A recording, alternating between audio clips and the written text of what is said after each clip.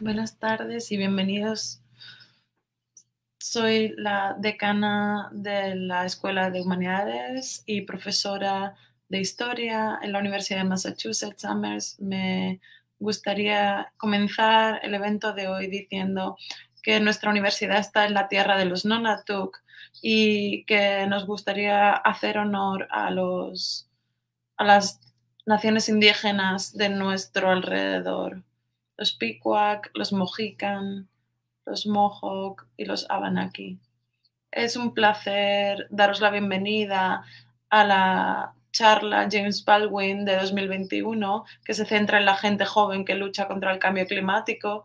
Y tenemos con nosotros hoy aquí a Vanessa Nakate, una activista nigeriana, y también a Varshini Pruskas, que es una activista y fundadora de los Viernes por el Futuro. Este, esta charla es un evento que se hace cada año y que fue fundado por el doctor Alan J. Davis del Departamento de Historia y eligió el nombre en honor al gran escritor y activista y también miembro y profesor de los, de los Five Colleges, que es James Baldwin. Este evento está sponsorizado en conjunto por la Escuela de Humanidades y Artes, por el Departamento de, de Estudios Afroamericanos, el Departamento de Historia. Esta charla de hoy, además, es parte de la serie Feinberg, que se celebra cada año en el Departamento de Historia. Cada año nos centramos en un gran tema o en un gran problema, algo que sea importante para la sociedad. Y cada serie, cada año, se compone de una gran variedad de eventos que lo que buscan es buscan hacer que la audiencia se pregunte cosas acerca del, del tema elegido para ese año y aprenda también acerca de ellos. El, tema de este año es eh, el cambio climático y lo llamamos Planeta en el Precipicio. Y lo que buscamos con este título es entender mejor el cambio climático y la emergencia medioambiental actual a través de, de la historia. Para más información de estas dos iniciativas y si os queréis registrar para, en futuros eventos, o si queréis ver vídeos de los eventos del año pasado, por favor visiten la web de la serie Feinberg. También podéis ver la, la traducción simultánea de este evento en español eh, en, el, en la web. Y también podéis encontrar allí los nombres de todas las comunidades y grupos que han contribuido a, que, hacer este evento posible. El evento además eh, está poniendo, está construyendo un zine o un, fanzine sobre el cambio climático con ah, piezas propuestas por gente joven. Podéis, hay muchas, hay poemas, ficción, ah, planes para tomar acciones climáticas y también piezas de arte y lo podéis encontrar también en nuestra web. Ahora mismo debería haber presentado al profesor Toussaint Lossier, que iba a ser el, presentador de, nuestros, de nuestras invitadas de hoy, pero como veis hoy,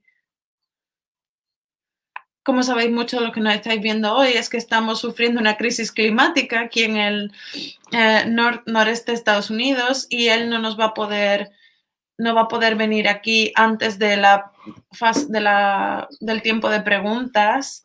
Ah, así que solo voy a decir algunas preguntas en anticipación a su llegada. Él es profesor en el Departamento de Estudios Afroamericanos y aquí en la Universidad de Massachusetts, Amherst, y además se ocupa de temas que tienen que ver con la justicia, y las comunidades afroamericanas aquí en Estados Unidos. Es el autor de un libro que se centra en los, movimientos contra las prisiones aquí en Estados Unidos y ahora mismo se encuentra redactando un manuscrito sobre la liberación negra. Ah, y bueno, tenemos muchas ganas de escuchar al profesor Lossier y también a, nuestros, a nuestras invitadas durante la fase de preguntas y ver cómo ellos interaccionan. Pero ahora mismo voy a invitar a que comience a hablar a nuestra primera invitada, Vanessa Nakate, de Uganda. Muchas gracias. Hola a todos. Me llamo Vanessa Nakate y soy una activista por el cambio climático de Uganda. Estoy muy contenta de estar hablando con todos hoy. En 2018 recuerdo querer hacer algo que hiciera cambios en la vida de la gente de mi comunidad y en mi país. Así que empecé a hacer estas actividades para entender para que la gente entendiera los problemas que afectaban a la gente de mi país. Estaba sorprendida de darme cuenta de que el cambio climático era uno de los problemas que estábamos viviendo en el momento. Y eh, no me había dado cuenta hasta entonces de ese cambio climático y de esa crisis, porque en los colegios no se nos enseña la realidad que está ocurriendo, la realidad que está afectando la vida de todos ahora mismo. Y me di cuenta, cuando me di cuenta de que las comunidades en mi país estaban sufriendo por culpa del cambio climático, decidí unirme a los Viernes por el Cambio y empecé a, manifestarme todos los viernes por el planeta. Empecé con, con la primera en 2019 y creo que ahora ya son casi dos años en los que hemos, nos hemos manifestado por, ese, por el cambio y por el planeta. Salvar el planeta no es algo fácil. Va a haber muchos ah, problemas que vamos a tener que, solucionar. Sobre todo como tener apoyo, tanto de los amigos como de la comunidad, como superar el que a veces la gente no nos escucha. Como alguien del sur, uno de los problemas que tenemos que, que hacer es eh, superar el hecho de que me hayan dejado fuera, de, verme que estoy fuera de esa lucha, que no nos tienen en cuenta, habernos dejado fuera del activismo de, desde Europa, que no nos han tenido en cuenta al sur global. Para mí también es un momento de, ver una imagen más grande, de ver todo más desde una perspectiva mayor, de cómo ayudar a la gente de mi comunidad que también se ven afectados por el cambio global y de cómo se puede ayudar a comunidades concretas que están afectadas. Y aún, aún así llevamos trabajando dos años y poca gente está escuchando lo que tenemos que decir. No se entiende que pueda haber una justicia climática sin una justicia social y para eso también necesitamos una justicia racial. Entonces el activismo desde el sur global quiere decir que tenemos que elevar las voces de la gente a la que no se le está escuchando y que también está afectada por la crisis del cambio climático. África como uno de los continentes que tiene menos emisiones, pero es uno de los más afectados por el cambio climático. Hemos visto problemas terribles eh, derivados del cambio climático en el continente africano. Los cambios y los problemas que estamos eh, enfrentando nos está dejando a la gente sin, cereales, sin cultivos. Hay muchos cambios en, en los patrones del tiempo. Hemos visto cómo ha subido el agua y ha destruido granjas y cómo el agua está contaminada como enfermedades como el cólera, como hay sequías en las partes norte del país, en sitios donde nunca las había habido. Todo esto que estoy viendo en mi país o en el continente africano. Hemos visto también cómo había reservas que se estaban reduciendo. Toda la crisis climática se está ocurriendo ahora mismo en el continente africano de todas formas, somos los que menos responsabilidad tenemos de lo que está pasando ahora mismo. Somos los primeros en sufrir el cambio, pero no somos los primeros en provocarlo. Muy poca gente está escuchando lo que queremos, lo que tenemos que decir. Poca gente está identificando lo que está ocurriendo en nuestro, en nuestro país y en África, en el continente. Y la gente de todo el sur global está enfrentando un montón de problemas muy importantes, como está ocurriendo, por ejemplo, en la India, en este periodo de pandemia. Estamos viendo cómo comunidades indígenas eh, se abusa de ellas y no se les tiene respeto y cómo se toman sus vidas y se destroza por la extracción de petróleo. Hemos visto cómo los océanos están contaminados por culpa del petróleo también, de cómo se, hay eh, derrames de petróleo. Y son todas estas comunidades de gente de color. Incluso cuando vamos a los Estados Unidos, vemos que las comunidades de gente de color están en las primeras líneas de la lucha contra el cambio climático. No puedo olvidarme también de la crisis del agua. Hemos visto las crisis donde los niños tienen que beber agua contaminada.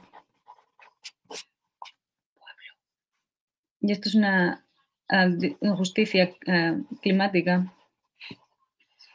Y esto y el, planeta y el ecosistema, no podemos evitar salvar el planeta o trabajar para ah, salvar el planeta sin tener en cuenta a la gente que está sufriendo ya ahora mismo. El cambio tiene que incluir a todo el mundo. Si queremos ver el cambio, tenemos que hacerlo entre todos. De las comunidades de distintas partes, áreas que están contaminadas. El Reino Unido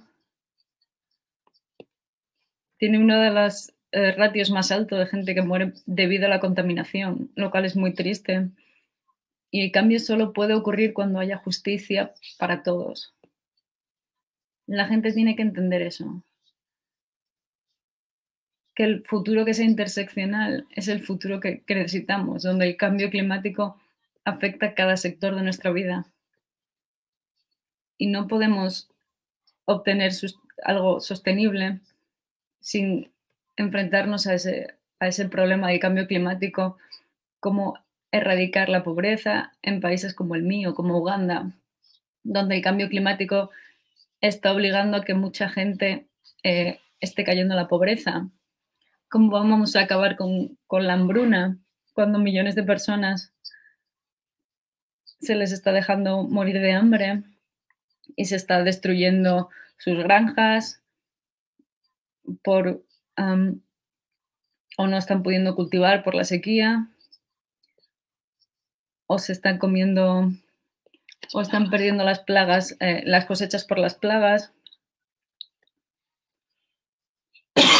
Mientras las plagas están comiendo todo lo que pueden eh, cultivar y no se está haciendo nada para evitarlo y dejando a la gente con ese problema de hambruna. Pero ¿quién va a venir a ayudarnos? no vamos a poder eh, llegar a tener una igualdad de género, por ejemplo, si no enfrentamos también el cambio climático. Es importante decir que las mujeres están mucho más afectadas por el cambio climático, sobre todo en lugares como donde yo vengo, como mi país, donde tenemos mucho más problemas para las mujeres son las que tienen que conseguir la comida, ir a por el agua, y el cambio climático les está afectando mucho más. Ahora las mujeres tienen que caminar unas distancias mucho más largas para conseguir agua porque hay escasez. Tienen que ir a las granjas más lejos para poder traer comida para sus familias. Muchas tienen que dejar la escuela para poder ayudar a sus madres, para poder llevar comida y, agua a casa. O se les fuerza a casarse. En, otras familias porque han perdido todo su familia y necesitan solucionarlo.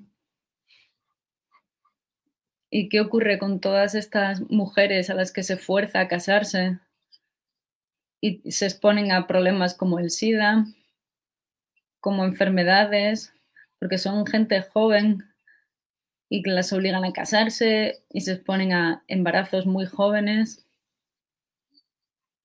y muchas están también expuestas a, suicidio.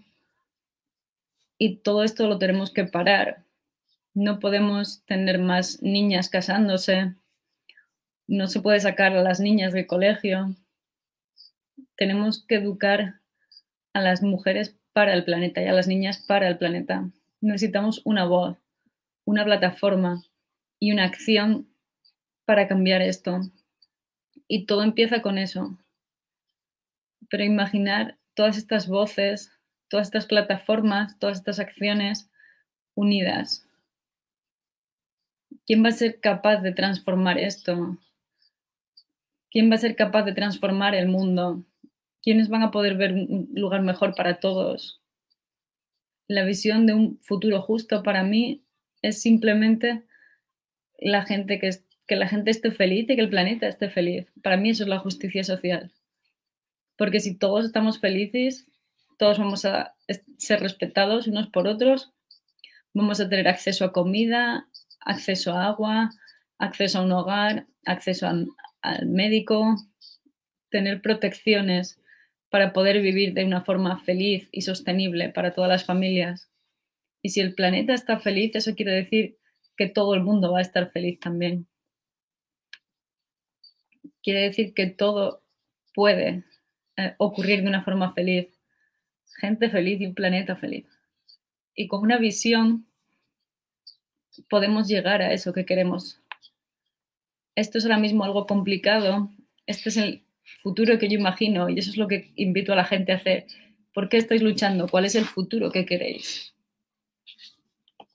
Cuando tienes esta visión, te va a ayudar y te va a dar esa esperanza para hablar, para alzar la voz,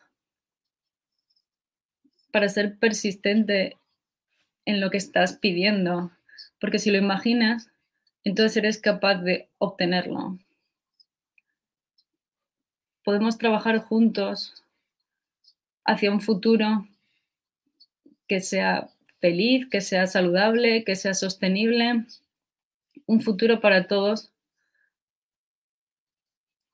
Y si queremos eh, llegar a, esto, tenemos que construirlo de forma conjunta, toda la gente en comunidades, desde los países.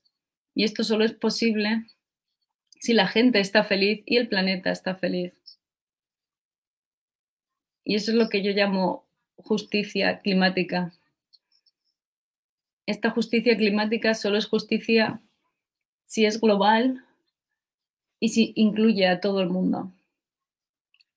Eso es parte de lo que es la imagen completa. Muchas gracias.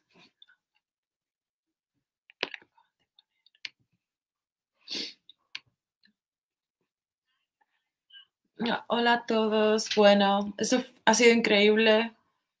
Soy Vanessa, estoy Oh, Vanessa, perdón, estoy súper inspirada por ti. Te agradezco muchísimo tu liderazgo y todo el trabajo que están haciendo. Llevo mucho tiempo siguiendo tu trabajo y me siento, es un honor compartir este eh, espacio virtual contigo. Ojalá pudiera escuchar el aplauso que estoy segura, segura que la gente te está dando ahora mismo, pero bueno, tristemente no estamos todo, todos juntos ahora. Buenas tardes a todos. Soy Varshini Prakash. Soy la directora de una organización que se llama Sunrise. Eh, organizamos a la gente joven a lo largo, ancho y largo de todo este país para construir un mundo mejor y trabajar para conseguir esa visión de la que Vanessa hablaba ahora mismo, un mundo donde la gente pueda respirar aire limpio y beber agua que esté limpia también Estoy muy feliz de estar aquí hoy y de estar otra vez con la comunidad de IUMAS. Os he echado mucho de menos. Ah, hace unos años que ya no estoy ahí con vosotros, pero es un sitio que yo me siento, donde siempre me siento en casa, que me ha nutrido muchísimo y quiero empezar contándoos un poco acerca de, bueno, mi historia y cómo llegué a estar donde estoy hoy para mí eso, mi historia empieza con mi casa, ¿sabes? Mi hogar, de donde soy. Yo nací y crecí en Massachusetts y ahora mismo vivo en Boston. que es la, tierra original de los Pawtuckets y la otra gente de Massachusetts. pero mi familia viene de India, de, del sur de la India. Y es un, un sitio que he tenido el privilegio de visitar cada pocos años mientras estaba creciendo y digamos que ese lugar es mi sangre y es mi hogar mm, sin importar dónde yo viva. Y lo adoro ese sitio. No recuerdo visitar la casa de mi abuela cuando era una niña y oír todas las historias que contaba mi papá sobre comer mangos en la terraza y vivir en una casa con solo una habitación, pero que estaba en la playa y como mi padre jugaba con un montón de otros niños indios y que tenían un perro y todo, todo eso, como mi abuela cocinaba la comida más deliciosa del mundo. Ah, es, un, es, un, sitio que, que, realmente tengo en mi corazón. Y cuando yo estaba en quinto o sexto grado, recuerdo que, eh, quizás ustedes también lo recordéis, que eh, hubo un tsunami enorme eh, que, que, golpeó la costa de, de, la India y toda la región. Y recuerdo, ¿sabes?, verlo en la tele. Aquí en los Estados Unidos, ¿no? Esas olas gigantes que, golpeaban la, costa y se llevaban las casas y todo lo que había. Y yo no... no me gustaban las noticias ni tenía ningún interés en la política en ese momento, pero recuerdo estar pegada a la pantalla viendo eso y llorando y, sintiendo esa angustia en mi propio cuerpo, ¿no? La, escuchando esa historia sobre los niños que veían como el agua se iba, pero luego venía a, a coger, a llevarse todo lo que ellos conocían, ¿no? Y, y me, me perseguían esas historias y ese horror y recuerdo estar desesperada porque no sabía nada, no, no sabía qué podía hacer, no sabía cómo podía aliviar ese dolor que yo sentía y que sentía por lo, el dolor que ellos estaban sintiendo. Yo tenía solo 11 o 12 años y no sabía qué podía hacer. Y mi, mi escuela uh, tenía una caja de donaciones para la uh, Cruz Roja y algunos niños de mi clase estaban también recolectando pues cosas para donar a la gente que estaba ahí. Y, recuerdo que yo también ayudé a recolectar y le preguntaba a mi mamá si tenía latas o cualquier cosa, pero a la vez me di cuenta cuando veía esas pequeñas cajas en las que recolectábamos cosas que era como, ¿qué, va a hacer, eh, ¿qué van a hacer estas pocas latas para todos esos miles de personas que están sufriendo, ¿no? No era suficiente. Y ese, ese, e, ese sentimiento de, de, no saber qué hacer, de no poder hacer nada, de sentir que nada era diferente, eh, nada era suficiente, se, se quedó conmigo. Y me sentía tan, tan falta de poder, ¿no? Y luego llegó el huracán Katrina cuando estaba en la secundaria y que mató a tres 3.000 personas en Nueva Orleans y que la mayoría de la gente eh, eh, que sufrió eran pobres, eran, eran afroamericanos o eran mayores.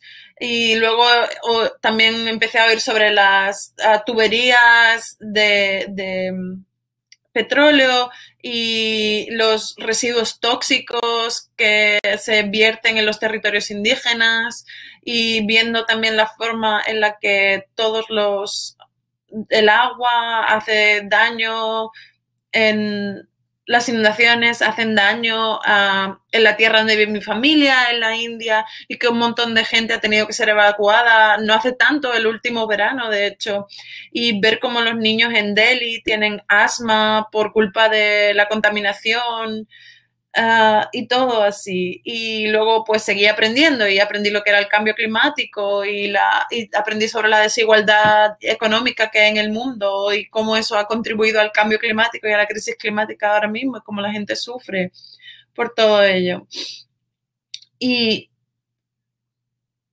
bueno, entonces todo esto, digamos, que me llevó al final a darme cuenta que sí, a los 10 años no podía hacer nada o me sentía que no podía hacer nada, pero hay mucho que de hecho podemos hacer y creer que, empecé a creer que en mi vida tenía la, el deber moral y la responsabilidad de, de hacer todo lo que podía, ¿no?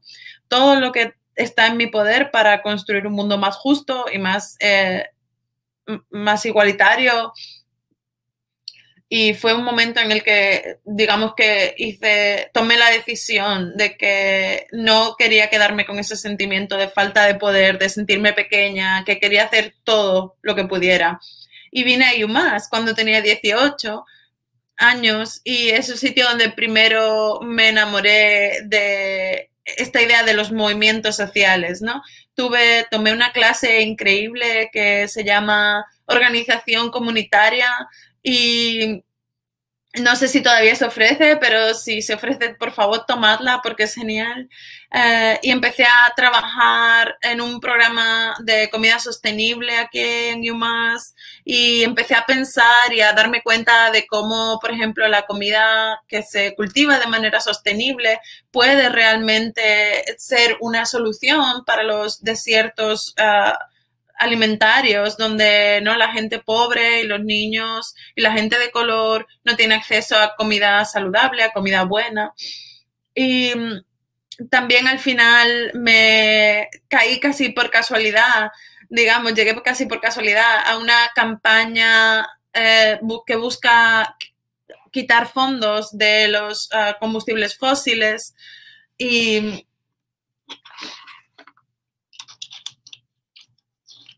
sentí que al final, a través de colaborar con todas estas causas diferentes, finalmente era parte de un movimiento de gente que, como yo, no estaban simplemente sentándose en casa, o sea, quedándose sentados en casa.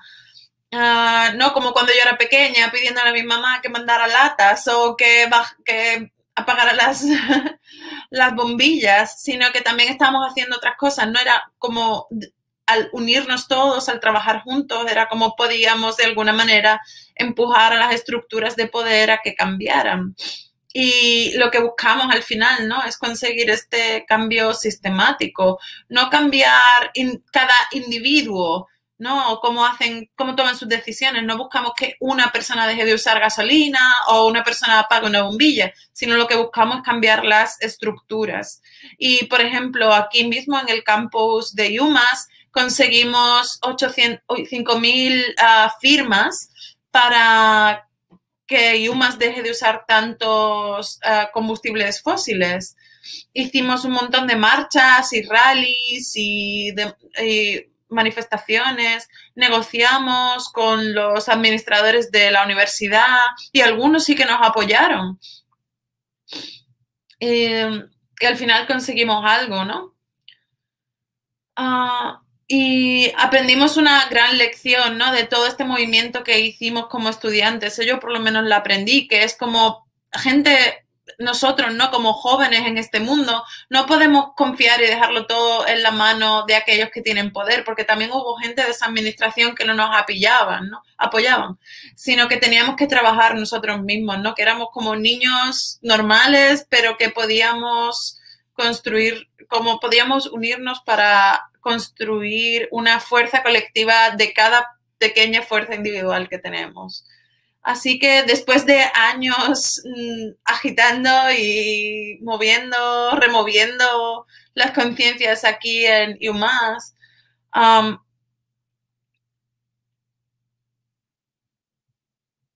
me di cuenta de que había como otros movimientos que estaban pasando. Em, y lo que conseguimos fue bueno, primero eh, hacíamos un esfuerzo que fue creciendo poco a poco. Primero fuimos a manifestarnos para conseguir eh, esto que finalmente conseguimos sobre los combustibles fósiles. Éramos 20 personas, luego al día siguiente éramos 40 y al final éramos muchísimos estudiantes que estábamos, eh, o sea, había muchísimos estudiantes y sí que conseguimos este cambio, ¿no? Y lo que nos dio, lo que nos dimos cuenta a través de esto es que sí que tenemos poder. Tenemos el poder si nos organizamos, si nos unimos, ¿no? Si no vamos pidiendo perdón por nuestra visión o por nuestras demandas, sino que tenemos el poder como gente joven de unirnos a lo largo y ancho de nuestras diferencias, digamos, ¿no? Ver gente de muchas organizaciones distintas de la universidad, por ejemplo, que todos se unían para conseguir este objetivo. Y esto, de alguna manera, en mi cerebro se cristalizó en sentirme y saber que somos como pueblo, como gente, como colectivo, somos infinitamente poderosos y podemos hacer que las cosas pasen de verdad. Y bueno, en este tiempo, esto es como al fin, estoy hablando de los años finales del gobierno del presidente Obama, eh, me di cuenta de que habíamos ganado muchas cosas, ¿no? No solo, no solo en Yuma, sino a través de, a lo largo y ancho de todo el país. Había trillones de dólares que ya no estaban siendo dados a las compañías petrolíferas, sino que se estaban virtiendo en movimientos de movimientos activistas, luchando contra el cambio climático y que se estaban dando a la gente, a las comunidades indígenas. Esto eh, eh, estamos viendo también siendo testigos de un movimiento de resistencia a nivel global por parte de estas comunidades indígenas y, por ejemplo, también eso lo vimos en, la, en, la, en el tema del Dakota Access Pipeline, que es la una tubería que atraviesa el estado de Dakota y la tierra de los Dakota. Y también vimos cómo se firmó el Acuerdo de París, vimos cómo se estaban tomando los primeros pasos hacia una política federal ah, para el cambio climático, eh, pero se veía también que aunque estaban ocurriendo un montón de cosas, no eran suficientes, ¿no? Que no teníamos todo el poder que queríamos y que necesitábamos y que no, el movimiento contra el cambio climático no estaba creciendo a la velocidad ni con la urgencia que la crisis a la que nos enfrentamos necesita.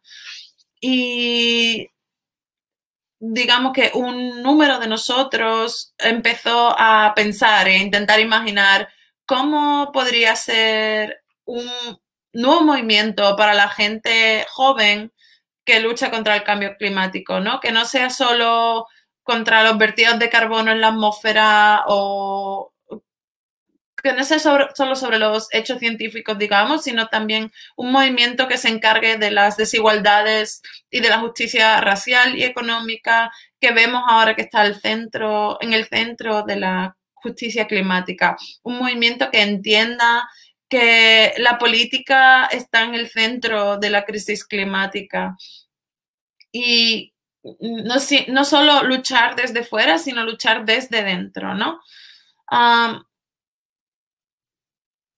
un movimiento, digamos, que de alguna manera pida lo que necesitamos y no lo que y que diga que sí solo a lo que necesitamos de verdad, no a lo que no necesitamos también para conseguir lo que necesitamos. Y esto no se trataba entonces solo de decir no a las tuberías que llevan el petróleo o a los combustibles fósiles o a la polución, pero también se trata de decir que sí a las reparaciones, a, arreglar, digamos, de alguna manera los daños que se han hecho a las naciones indígenas y a las comunidades afroamericanas, a las comunidades pobres, a las comunidades latinas en este país. Eh, lo que estamos pidiendo al final es garantizar el derecho al aire limpio, al agua limpia, a tener un hogar, a tener un hogar. Ah, y que estos derechos son inalienables para los americanos y también para toda la gente del mundo en general. lo que queríamos también era hacer una declaración de solidaridad y darnos cuenta o de alguna manera enfatizar que el clima no tiene fronteras y que es necesario que todas las comunidades en el mundo colaboren. Eh,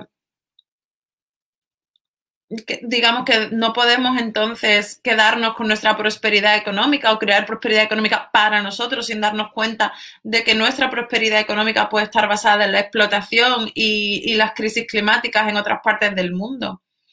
Así que sí, digamos que esta historia digamos que ahí es donde empieza mi historia, con el darme cuenta de todas estas cosas y el estar en contacto con otros y empezar a pensar todas estas cosas.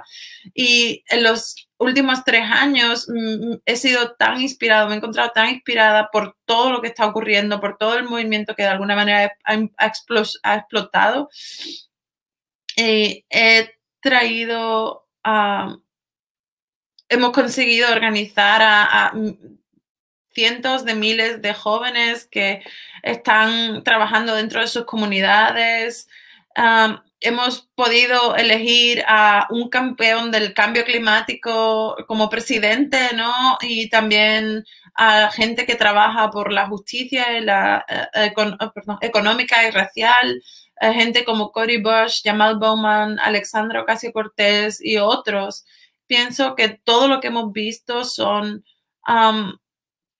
son victorias que hemos tenido, ¿no? Incluso elegir al presidente Biden es una victoria para nosotros de alguna manera. Y si hay algo que quiero que os llevéis de esta conversación de hoy, que lo, que quiero, con lo que quiero que os quedéis es que os necesitamos. Os necesitamos en esta lucha, os necesitamos para os necesitamos activados y activos, os necesitamos para conseguir luchar contra el supremacismo blanco, los nacionalistas blancos, la violencia, contra la crisis climática, os necesitamos para luchar contra la violencia causada por la posesión de armas en este país. estamos viendo tantas comunidades que llevan luchando durante años, décadas, no solo los últimos cuatro años de Trump, sino los últimos 400, con la violencia, con el odio, y que necesitan no quedarse en un lado y ¿sabes? No necesitan que nos quedemos a un lado y no prestemos atención a eso, sino que realmente nos esforcemos y trabajemos en crear un mundo mejor. Muchas gracias a todos por estar hoy y, escucharnos. Creo que estáis escuchando el aplauso de la gente desde casa, aunque no podamos estar en un sitio todos juntos. Mi nombre es Toussaint Lucier y soy profesor de estudios eh, afroamericanos, eh, DUA. muchas gracias de nuevo a Yumas. Aprecio mucho um, los comentarios de Bar y de Vanessa y que se han tomado el tiempo de venir y hablar sobre su trabajo y sobre lo que hacen. Y esto nos ha dado un, un sentido de su visión y también de cómo ven el cambio climático y cómo esto se conecta con cuestiones de justicia de género y justicia racial, los derechos de la gente indígena y que todo está muy unido a las circunstancias del eh, sur global. Y bueno, como tú has comentado, Vanessa, una forma de pensar sobre el cambio climático y sobre la justicia climática tiene que ser interseccional. Entonces quiero hacer un, par de cosas. Vamos a tener la oportunidad de hacer un QA en un minuto y nos va a dar la oportunidad de, por un lado, hablarle a la gente sobre los procesos de, cómo va a ser la sección de preguntas. Entonces hay un formulario al que podéis acceder eh, y ese, enlace en la pantalla les va a permitir eh, escribir un comentario y podéis poner cuantos queráis y podéis compartir vuestros comentarios, vuestras ideas. Una de las cosas que más me interesan y que habéis hablado sobre ello es cómo llegasteis a trabajar en esto y cómo este eh, esta amenaza existencial de la justicia climática. Y lo que más me interesa, y me gustaría darles un poco de espacio para que hablen sobre esto, igual es algo obvio, igual es algo que se ve, pero me gustaría que hablaseis de, de cómo movilizar a la gente joven sobre este tema porque es una de las cuestiones que de alguna manera la justicia climática les afecta a ese futuro de la gente joven. Es la gente joven la que va a ver ese futuro y, va a vivir en el mundo. Entonces muchas maneras en las que a veces organizar a la gente joven o intentar movilizar a la gente joven se ve como algo, vamos a decir, que su propio desarrollo individual o que alguna gente joven es necesario que puedan estar preparados para el futuro. Es como si la focalización de la organización, de las dos organizaciones en las que participáis, ve a la gente joven como algo crucial dentro de, como actores políticos cruciales y como en generaciones anteriores, hasta el punto de que son los que tienen que hacer el cambio. Y me gustaría que pudierais elaborar un poco sobre ese proceso de organizar y movilizar a gente joven alrededor de este tema de la justicia social. Y quizá, Vanessa, puedes hablar un poco más sobre tu propia experiencia, tu primero, y por qué consideras que es tan importante llamar esas capacidades de la gente joven y por qué es quizá importante, como es una parte importante de ayudarnos a tener una visión para tener una población y un mundo más humano, más sano y más feliz. Y muchas gracias. Lo primero, considero que la gente joven no tiene miedo a, enfrentarse al poder, a decirle la verdad al poder, no intentan evitar decir la verdad. Entonces, si hay un problema, lo van a decir y lo van a explicar de la forma en la que es. Los líderes están ahora mismo estropeando el planeta y la gente joven lo ve y lo dice y no van a intentar evitar una confrontación y probablemente la imagen social uh, y la reputación de ese líder se van a enfrentar a él. Uh, no les importa decir estás destrozando el planeta. Entonces es necesario que participe la gente joven en el, en el salvar el planeta porque son nuestro futuro y es su futuro también el que, está, el que estamos jugándonos. Entonces la gente joven la que va a heredar este planeta y va a estar destruido o va a ser un planeta que no sea seguro. Entonces es algo claro que es necesario que la gente joven se involucre. Es evidente que el presente ahora mismo es catastrófico y creo que ahora es el momento para que la gente joven tome las riendas e intente salvar la situación que tenemos y tratar de predecir el futuro y de solucionarlo. Hemos visto como otras generaciones han estado haciendo mucho y han estado diciéndole la verdad al poder y han estado enfrentándose al poder y luchando por el cambio climático, intentando poner a los líderes adecuados para el cambio climático, como está haciendo Barshini. Entonces creo que es momento de que la gente joven siga poniendo a esa gente correcta en, en los lugares correctos o que ellos mismos ocupan esos lugares y la gente adulta no está siendo los adultos de la sala, entonces la gente joven son los que van a tener que solucionar el problema. Sí, eso fue perfecto, exacto. Ah, no tengo mucho que añadir. Creo que la gente joven han sido una parte, una parte crítica de prácticamente casi cualquier movimiento social que ha existido, estoy segura en, la historia global en general. Entonces creo que necesitamos un movimiento intergeneracional. No creo que solo se vaya a conseguir si se involucre la gente joven, pero creo que la gente joven lo que aporta es la pasión, esa disponibilidad para tomar riesgos, no son cínicos, son realmente una esperanza, son militantes del optimismo. Entonces, eso es lo que viene con la gente joven. Estoy pensando en gente como Diane Nash o John Lewis y otros, otros, y otros líderes el Nashville Lunch Counter, donde hicieron sentadas que no tenían problema en enfrentarse a, a la brutalidad, o todos los que lucharon por eh, la segregación en el sur. Eran capaces de, traspasar fronteras para poder enfrentarse a los problemas, como la gente está luchando contra los indocumentados en este país. Estoy pensando en toda esa gente joven que fue parte de Standing Rock en esas protestas y fueron unas de las primeras personas que empezaron a, enfrentarse a esa construcción de las tuberías en Dakota.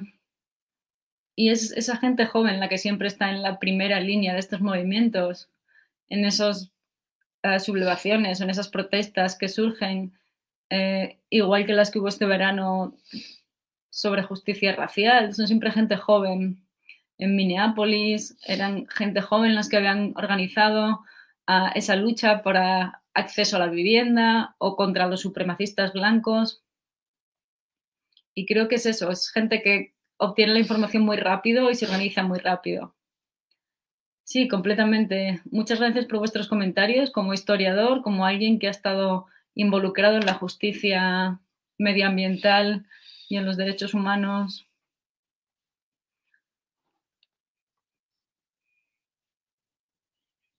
Estáis haciendo, estáis mostrando puntos muy importantes sobre la situación global actual y este papel histórico que la gente joven está jugando dentro de los distintos eh, movimientos sociales, esos esfuerzos valientes que la gente está tomando, ya sea de los derechos civiles o previo a eso. Estamos hablando del papel que juega la gente en los derechos laborales, incluso más recientemente organizándose con protestas medioambientales, justicia medioambiental. Y la forma en la que lo enfocáis es particularmente inspiradora. Quiero de nuevo hablar sobre las preguntas, sobre el, enlace a las preguntas, al QA que está en los comentarios. Entonces, la gente que nos estéis escuchando, cualquier cosa, la que tengáis curiosidad o queráis preguntar o estéis interesados, una de las limitaciones de no poder estar cara a cara es que no somos capaces de, oír y de dónde viene cada uno, pero bueno, vamos a intentar obtener lo máximo posible de eso. Otra de las preguntas es desde vuestra propia perspectiva, como mujeres jóvenes en particular, habéis visto cómo la cuestión del género ha impactado en la forma en la que veis la justicia climática. En muchas formas es un tema que no se suele conectar directamente con el tema del género, el cambio climático, como si el cambio climático impactara el en general al planeta, pero no en particular a alguien, aunque sí que realmente impacta de manera distinta a unas comunidades que a otras, aquellos que están en primera línea, de los que están sufriendo más eh, contaminación, o que están viendo cómo se devasta el planeta, empezando por la zona en la que ellos están. Quizá, Barsini, si empiezas en esta, igual puedes hablarnos un poco sobre qué quiere decir o cómo, cómo es ser una mujer joven dentro del movimiento y si hay alguna forma particular en la que ves que las cuestiones de género, patriarcado, están impactando la forma en la que el movimiento se desarrolla o de una forma más general cómo el cambio climático impacta en el día a día de la gente. Esto es estupendo, me encanta esta pregunta. Voy a decir que si vas a cualquier movimiento social o organización, la que sea, la mayoría, particularmente en el cambio climático, son las mujeres las que están moviendo esto. Las mujeres, la gente queer, son la gente, yo lo veo en mi organización, son los que están ah, comenzando a abrir eh, organizaciones, suelen ser mujeres, son las que están tomando las riendas.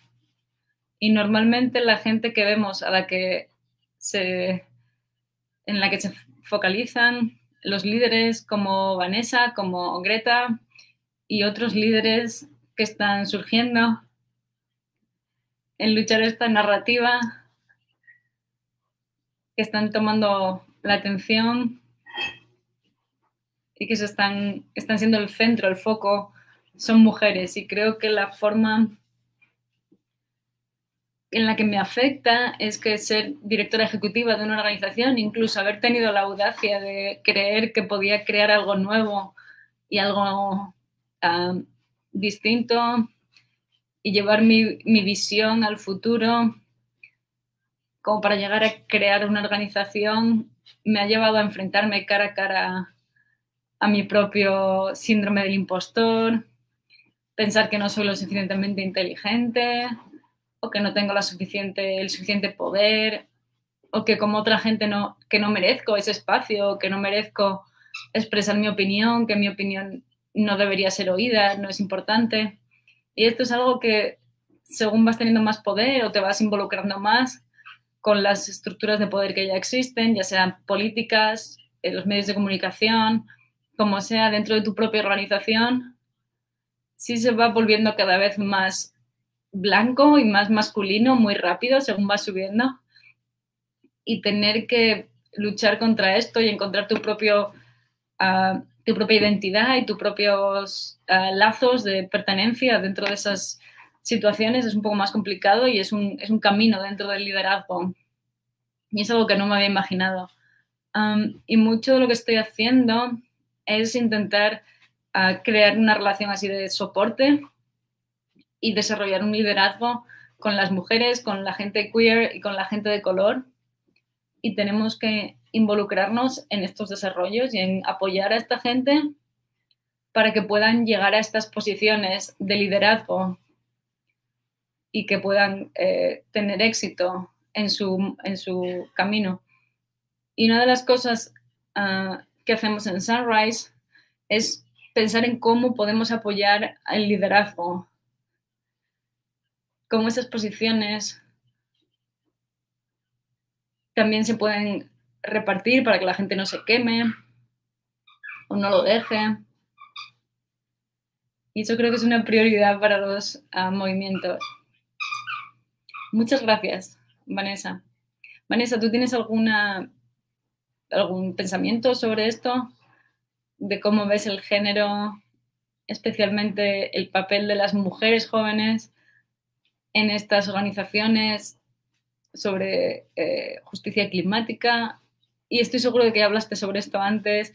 Ah, mencionaste sobre eh, matrimonios forzosos, forzados, y este tipo de trabajo doméstico que no se paga para las mujeres jóvenes y cómo estos trabajos a veces las sacan del colegio para hacerlo a una edad muy joven.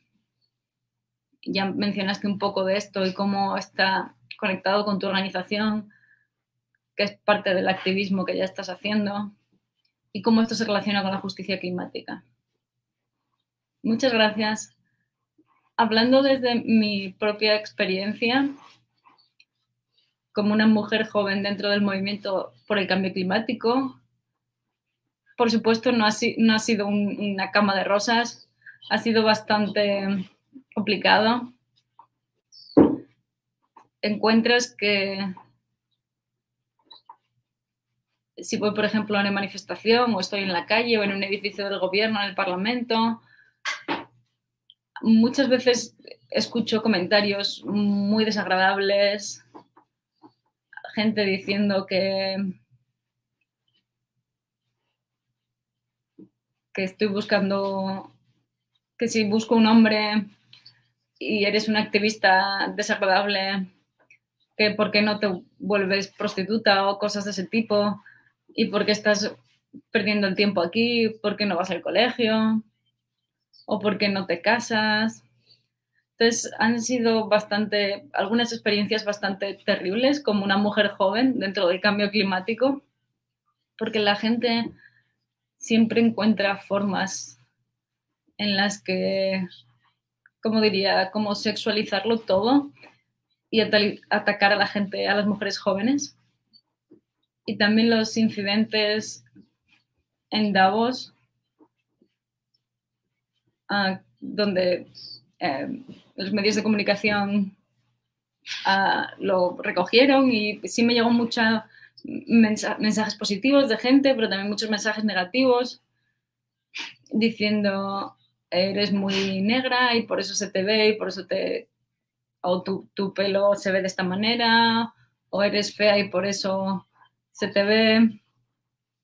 Y entonces ha sido bastante difícil como una mujer joven, no solo dentro de los espacios del activismo, pero también como mujer joven dentro de las comunidades en distintas partes del mundo que están viéndose afectadas por el cambio climático de una forma desproporcionada y que están enfrentándose a, problemas como eso, el dejar el colegio, el que te casen muy joven, esos ah, embarazos no deseados, enfermedades y todo eso.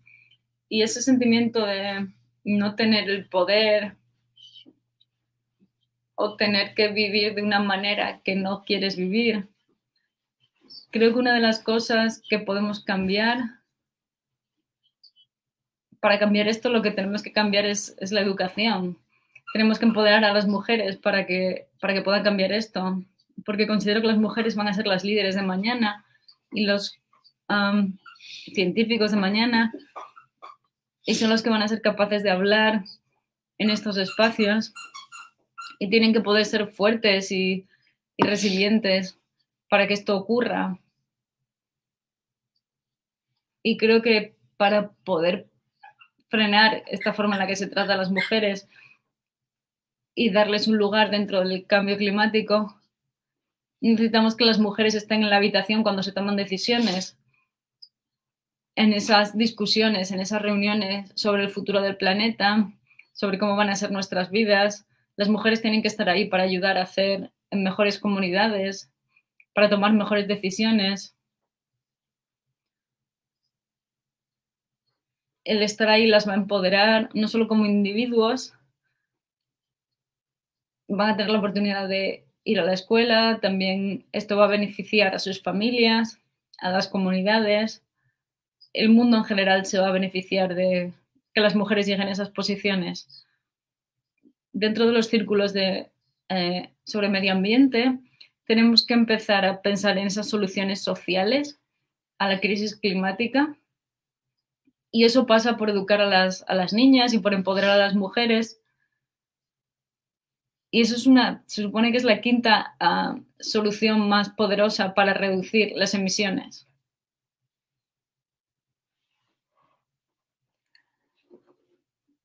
Genial.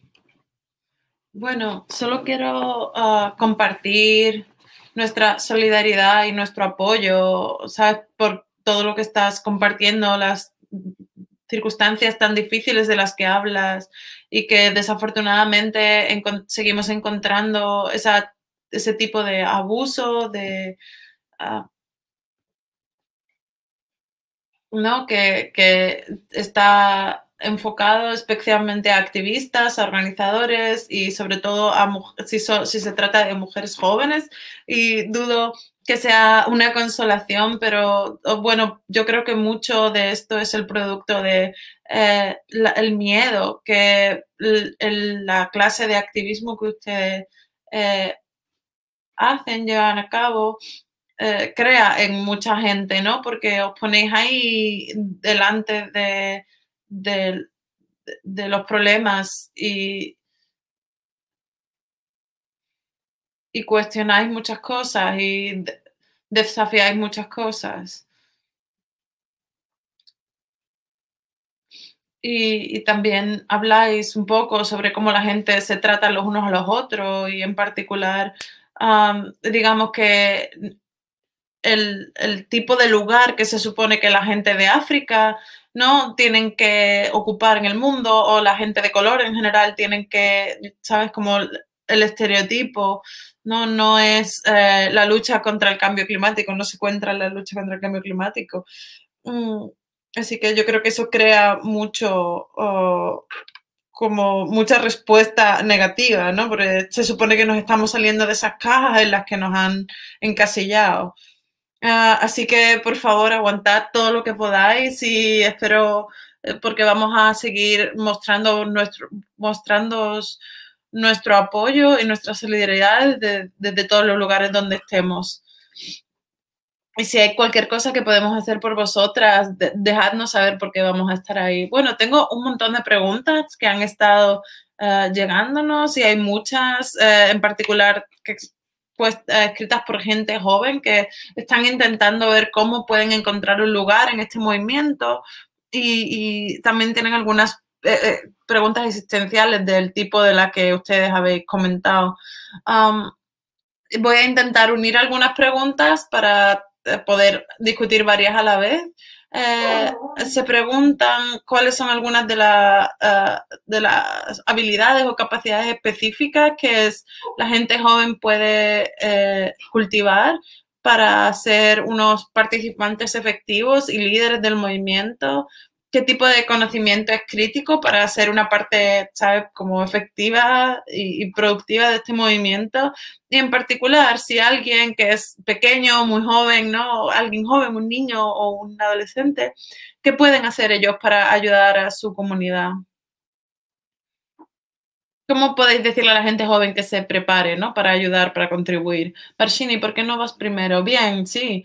Ah, bueno, una de las cosas que puedo decir es eh, empieza, ¿no? Empieza, comienza por algún lugar, hagas lo que hagas, ah, ya que si estás luchando con el cambio climático o por la justicia racial o, ¿sabes? sea cual sea el tema que a ti te interese, encuentra una organización local que esté a tu alrededor, ¿no? Puedes buscar una de las sedes de Sunrise que esté cerca tuya, em, puedes unirte a una lista de emails, o lo, que sea que tengas más cercano a ti. Y, y, ¿sabes? Si me preguntas que yo, si yo pensaba algún momento que hubiera acabado donde estoy ahora, siendo la directora ejecutiva de Sunrise y, eh, ¿sabes? Haciendo lo que hago hace una década, no te hubiera dicho, no, eso nunca va a pasar, pero al final es donde estoy, ¿no? Así que por eso creo que es importante que empieces a nivel local y te muevas poco a poco. Y digamos que yo creo que he llegado a donde estoy porque sí que me lancé de cara a en, muchos movimientos y muchas iniciativas y cuando estaba allí hacía todo lo que podía y me lo daba todo. Y, sabes haciendo eso no sabes dónde te va a llevar tu, viaje tu camino en la vida y diría que otra cosa es ah, invertir uh, todo lo que puedas, encontrar maneras en las que puedes participar en los movimientos, pero tienes que también, digamos, invertir en tu propia o en tu propia sostenibilidad, porque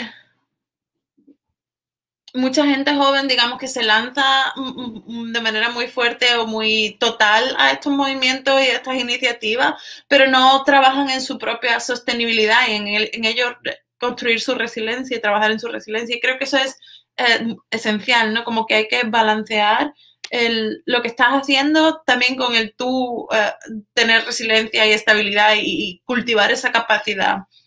Vanessa, ah, ¿hay algún, algunos pensamientos o ideas que quieras o, consejos que quieras compartir con, la gente joven que está buscando maneras de participar en este movimiento por el cambio climático. Um, ¿qué, le dirías a la gente que quiere ser parte de la solución en vez de parte del problema? Gente joven que te pregunta cómo pueden involucrarse, qué tipo de conocimiento o de de habilidades deberían desarrollar.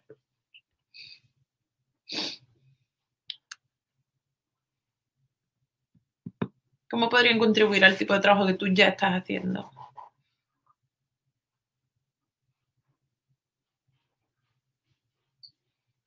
Bueno, si ya estás haciendo esta pregunta, eso muestra que estás apasionado que quieres cambiar, que tienes el deseo de cambiar el mundo y convertirlo en un lugar mejor. Y creo que como Barsini dijo, simplemente empieza, haz algo. Un ejemplo de cómo yo empecé, por ejemplo, hice un montón de, investigué muchísimo porque no sabía mucho de sobre el cambio climático. Así que lo que hice fue educarme a mí misma, leyendo artículos online, intentando entender qué era realmente el cambio climático, qué era el, calentamiento global. y qué están haciendo los líderes acerca de esto. Y creo que importa estar en una posición que te permita aprender y con la mente abierta para aprender, aprender de los que han estado allí antes que tú, ¿no? Yo recuerdo ver y escuchar ah, charlas y, y, otros jóvenes que ya habían estado haciendo activismo antes que yo y eso fue un, un buen momento para aprender y entender el trabajo que ellos estaban haciendo y saber exactamente eh, en qué me estaba metiendo, pero también por qué era importante hacer este tipo de activismo. Y creo que también es importante recordar que hagas lo que hagas, que las acciones más pequeñas pueden llevar a cambios que muchas veces uno siente como que sus acciones no llevan a ninguna parte, que no marcan una diferencia, porque a lo mejor estás trabajando a nivel muy, muy local en tu comunidad, eh, pero la verdad es que cada acción suma a las acciones que están haciendo otra gente. Si las unimos todas y pensamos en todas esas pequeñas acciones en conjunto, te das cuenta de que hay millones de acciones que están transformando el mundo poquito a poco. Así que nadie es demasiado pequeño para marcar una diferencia en este mundo, sin importar de dónde seas, de lo que hagas, de quién seas, de qué, a, qué, a qué escuela fuiste o qué estudiaste. Lo importante es empezar por algún sitio, aprender lo más posible de la gente que ha estado antes y que ya lleva tiempo haciendo eso. Encuentra un, grupo activista local con el que puedas trabajar. Por ejemplo, por mí, hay pensando en el futuro, hay muchísimos grupos en cada país. Piensa en qué grupo local quieres, eh, te gustaría, ¿no? ¿Con qué grupo te gustaría colaborar? colaborar? Y, y, y eso te va a llevar a ser parte de la solución, ¿no? Es, es, es el momento del que todos seamos parte de la solución y hagamos este mundo un sitio mejor. Por supuesto, gracias, muchas gracias. Dios mío. Bueno, eh, eh, ojalá no estuviera nevando fuera porque es como que esto me da ganas de ir fuera, puerta a puerta, convenciendo a la gente. Y quiero preguntaros, porque tengo una tenemos una pregunta de cómo buscáis, cómo hacéis eh, este activismo, ¿no? ¿Cómo lo lleváis a cabo debido a que estamos aquí en medio de esta pandemia y que cómo habéis cambiado el trabajo que hacéis eh, y cómo lo hacéis de manera efectiva? Con, eh, con, con, respecto a esta pandemia, ¿no? Y, pero también quiero eh, presentaros una pregunta que hemos tenido desde Ashland y es una pregunta de dos partes que pregunta un estudiante de allí que dice, Vanessa, eh, os pregunta si, si puedes recomendar cualquier eh, artículo o libro o cosas así sobre la justicia climática y el movimiento por la justicia climática en el este de África y en África en general. Si tienes cualquier sugerencia para indicar a la gente a dónde ir a buscar información. Y eh, a ver si le preguntan, para los que estamos aquí en Estados Unidos, tenemos tenemos que, pensar sobre las políticas climáticas. Y cómo esto se, conecta de alguna manera como con el colonialismo. Y cómo se pide a, países que, que paguen deuda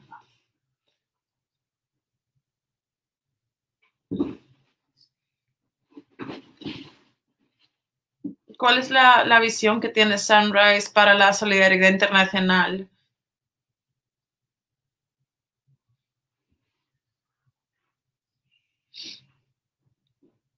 ¿Cómo integramos un análisis racial y de las, de las legajos del colonialismo en las dinámicas del capitalismo racial y, la, y, una crítica de las dinámicas del capitalismo racial en el trabajo que hacemos, ¿no? Primero quizás Vanessa para que nos dé sugerencias acerca de cómo aprender más acerca del cambio climático y de las acciones que se están tomando en contra en África, en Uganda. Gracias. Bueno, para aprender del cambio del activismo climático en mi país, en el este de África, ah, bueno, hay unas cuantas cuentas que podría recomendar. Hay mucha gente joven que está haciendo muchísimo para pedir justicia y hacerse cargo de estos temas. Por ejemplo, el movimiento Rise Up, que yo empecé, trabajo con gente de gente joven a lo largo y ancho de toda África para amplificar las voces de los activistas y comunicar nuestro mensaje, hablar de las experiencias específicas de cada país de África, porque te puedes dar cuenta que, bueno, lo que yo vivo en Uganda no es exactamente lo mismo que una persona en Sudáfrica va a estar viviendo. pero si sigues nuestra cuenta, pues puedes informarte acerca del trabajo que estoy haciendo. También está uh, Fighters for Uganda, for Future Uganda. También está One Million Activist Stories. Um, y hay algunas iniciativas que, una iniciativa que empecé con un uh, compañero activista que la empezamos uh, por la, por la pandemia precisamente, ya que no podíamos hacer las huelgas físicas, digamos, las manifestaciones físicas, lo que hacemos es eh, entrevistar a diferentes activistas em, y, compartir su trabajo en el blog, así que también podéis ver nuestro blog y ver todo esto que hemos estado haciendo. Y también podéis encontrar cosas sobre lo que otros activistas están haciendo en mi cuenta y en la cuenta de One Million Activist Stories. Y también lo que podéis hacer es pues, buscar ah, información sobre activistas y sobre artículos, no sé, sobre, eh, o sea, no recuerdo si títulos específicos, pero hay un número de, de artículos que hablan sobre estos, esta lucha y hay artículos que explican Mm, de manera detallada el impacto de la crisis climática en el continente africano, porque la, la mayoría de la gente de África no saben acerca de, de, esta crisis, digamos, solo saben lo que les pasa, pero no lo entienden en el contexto de la crisis climática o de la justicia climática. Uh, no entienden que, por ejemplo, si la gente eh, no tiene trabajos eh, o, está pasándolo mal, no encontrando trabajo, está conectado con esto mucha gente eh, o que la pobreza está conectada con esto. Y creo que es a través de estos artículos como podemos a nosotros aprender también y también aprender cómo enseñar a la gente joven y a, estas comunidades acerca de lo que realmente está pasando eh, en el medio ambiente y cómo la pobreza y la crisis climática están conectadas. Bueno, genial antes de llegar a la pregunta de eh, solidaridad internacional, algo que Vanessa dijo me ha llamado y sobre cómo la gente joven puede eh, participar. Os quiero dar un ejemplo. Por ejemplo, nosotros conseguimos eh, movilizar un montón de votos y hacer mucho trabajo tipo campaña electoral. Uh, y lo que hicimos como Cory Bush, para Cory Bush o Jamal Bowman, uh, y esto es porque conectamos con un montón de adolescentes a través de Zoom, ¿no? Y hicimos llamadas uh, con uh, o para los, estos candidatos progres, progresistas. Uh, hicimos miles, cientos de llamadas. Y cuando digo teen, adolescentes, eh, sí, es como me estaban ayudando gente que tenía 13 años. Eh, eran gente que estaban llamando a otros jóvenes y convenciéndoles, ¿no? Eh, estaba, yo fui a eventos que el presentador era un, gente de 15 años, así que no hay límites acerca de lo joven que eres o, ¿no? o si tu, la edad te, te, es algo que te impide hacer algo. Uh, así que eso, digamos que de alguna manera me ayuda a mí a enfrentarme cuando me siento como desanimada porque digo, no, hay gente que hace todo. O sea, yo no fui perfecta en, mi, en, mi, camino, en mi viaje hacia fundar Sunrise. Hice muchas cosas distintas, estuve aquí, estuve allí, hasta que encontré algo que realmente a mí me apasionaba. Y encontré un grupo de gente con el que trabajar y encontré mucho, ¿no? Uh, así que es, está bien, no, no pasa nada. Puedes probar distintas cosas y ver dónde encuentras tu lugar y el lugar donde tú te sientes que estás haciendo más.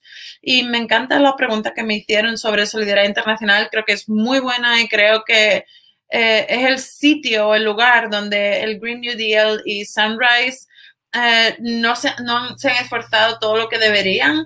Creo que en gran parte, y no es una excusa, es una explicación, es que la política norteamericana, tanto la derecha como la izquierda, eh, está tan enfocada en esta idea de America First, ¿no? De América primero, de los Estados Unidos primero, incluso antes de que Trump llegara a, la presidencia, que se ha convertido de alguna manera en algo que infecta nuestros movimientos y la manera en la que pensamos y nos organizamos también. Así que ahora mismo estamos en un proceso de crear una nueva estrategia para Sunrise para los siguientes cinco años y sí que queremos que, internacional, que el internacionalismo y un sentido fuerte de solidaridad internacional sea parte de estos cinco años que vienen, especialmente porque muchas de las historias del año pasado sobre el Amazonas o los fuegos de, de Australia, etcétera, etcétera, como que son, vemos que son gente que está afectada. Estamos en esta esta red que es mayor que un país, que es mayor que una frontera. Son gente que está afectada por estos eh, problemas a, lo largo y ancho de todo el mundo. Y creo que no tenemos que limitarnos, no dejar que las fronteras nos limiten, ¿no? Y si tenéis ideas de cómo hacer esto, uh, eh, me encantaría oírlas y podéis eh, comunicármelas a través de lo del QA y también voy a contactar, aprovechar para decirle a Vanessa que tenemos que tener una llamada después de estos para seguir hablando y, y poner en comunicación, digamos, nuestros países y nuestras ideas y también con otras asociaciones y seguir construyendo esa solidaridad y trabajar en la solidaridad con el sur global, ¿no? Porque creo que estamos en una fase que nos va a definir mucho acerca de, en este tema de solidaridad internacional, ¿no? Tenemos como Sunrise, como organización, tenemos que realmente empezar a trabajar más fuerte en esto y, empezar a, a, hacer una transición hacia aceptar que los Estados Unidos tienen una culpabilidad histórica en, en el daño que se ha hecho a la atmósfera y a la polución.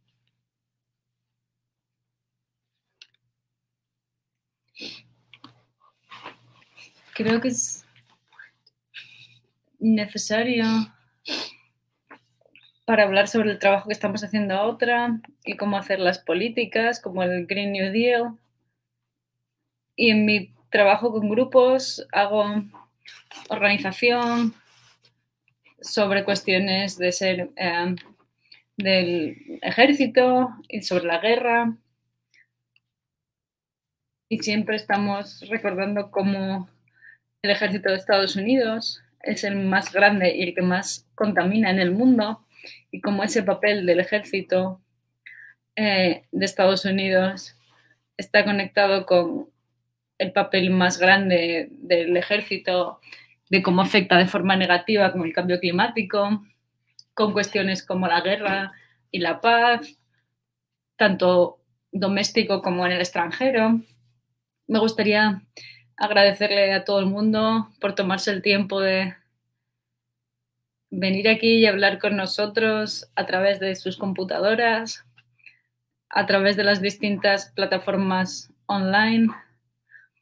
Y no lo digo solo de una forma así como que hay que políticamente correcta, sino que creo realmente que es importante que tengamos estas conversaciones y tenemos que tomarnos esos tiempos para no simplemente sentarnos en casa y observar,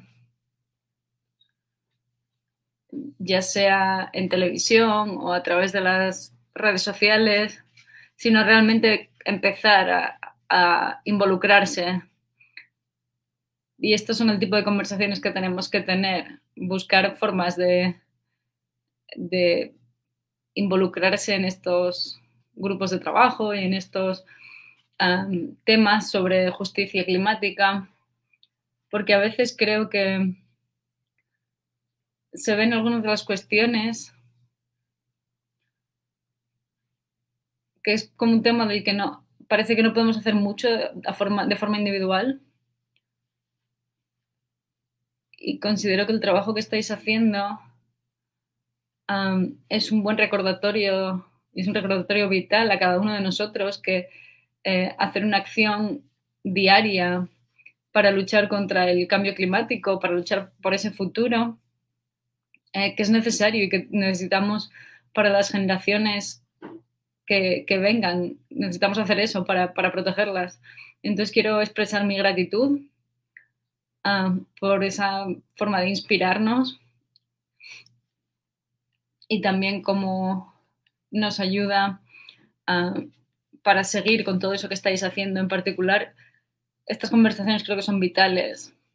Y en mi experiencia, parte de mi introducción al trabajo de la justicia climática es a través del movimiento por la justicia del medio ambiente y para luchar contra el racismo dentro del medio ambiente, en el punto en el que estoy intentando crear conexiones, como por ejemplo cómo el huracán Katrina impactó de forma distinta en Luisiana, cómo la contaminación afecta de forma distinta y produce cáncer de forma distinta en los Estados Unidos, cómo esas conversaciones en Sudáfrica o en Nigeria,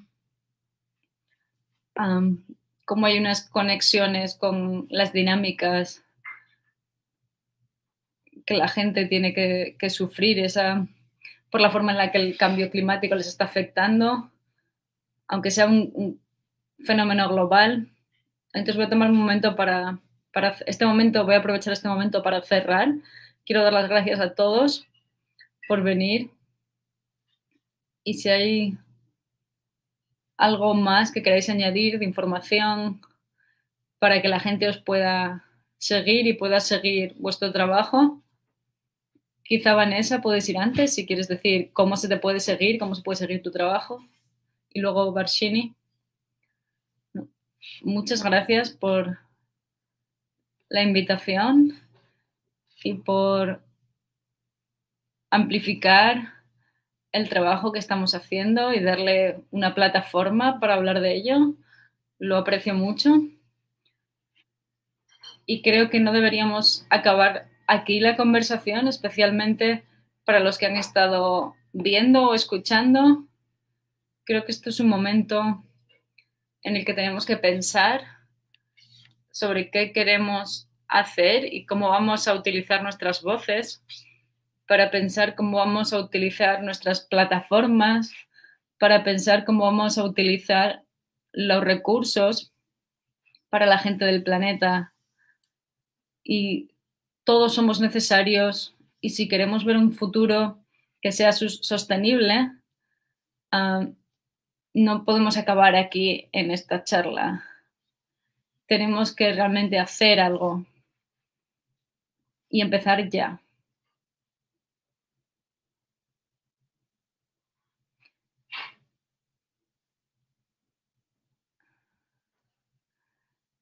Sí, estoy completamente de acuerdo. Eh, ¿Está hablando todavía? Perdón, se, me cortó. sí, exacto.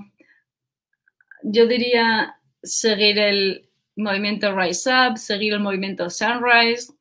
Nos podéis buscar en casi cualquier plataforma que podáis pensar. Podéis ir a nuestra página web y registraros. Os animo a todos muchísimo a que participéis. Hay muchas formas distintas de participar. Y si no es no por mí, pero podéis hacerlo de forma distinta. Podéis ir puerta a puerta a hablar con vuestros vecinos de una forma que sea segura con respecto a los protocolos del COVID, pero podéis donar, podéis hacer llamadas, podéis escribir cartas a periódicos, podemos utilizar a todo el mundo, todo el mundo que tenga distintas capacidades, podemos hacer, podéis colaborar y hacer que el mundo sea más justo y más igualitario. Entonces, cualquier cosa que se pueda donar, cualquier talento que tengáis, cualquier cosa que hagáis bien, podéis hacer eso para parar el cambio climático. Y de nuevo quiero decir muchas gracias al doctor Lucier, a Vanessa, a Yumas. Estoy muy agradecida de haber podido ser parte de esta charla. Muchas gracias. Muchas gracias a todos y aprecio mucho a toda la gente que ha hecho esto posible. Y gracias a todos por tomarse el tiempo de, vernos en directo o aquellos que han visto la grabación de este evento. Y espero verlos por ahí, por la calle, en las redes sociales, o llamando a esas puertas con los vecinos, o llamando por teléfono, o haciendo lo que sea, la parte más pequeña que sea, que se pueda hacer o que puedan ustedes hacer para mejorar nuestra visión global de ese futuro que merecemos y de ese mundo que merecemos para las generaciones futuras. Muchas gracias.